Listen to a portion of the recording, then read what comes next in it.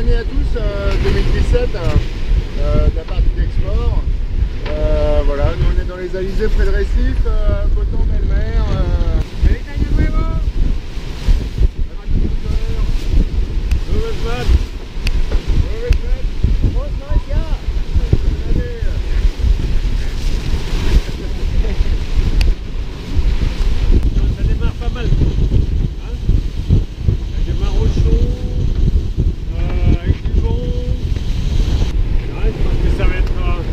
grand cru parce que euh, déjà quand une année démarre comme celle-ci, là, c'est, euh, euh, ça peut être bien. Une année qui part en glisse, donc c'est pas mal.